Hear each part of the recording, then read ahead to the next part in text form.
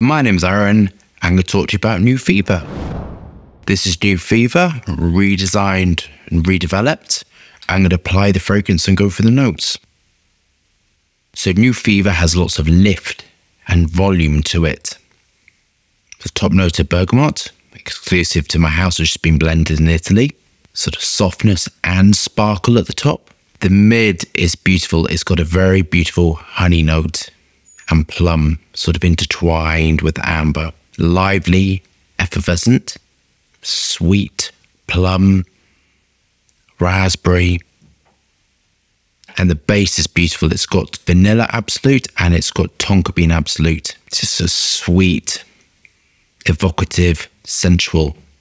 And the dry down is with vanilla, heliotrope, and sandalwood.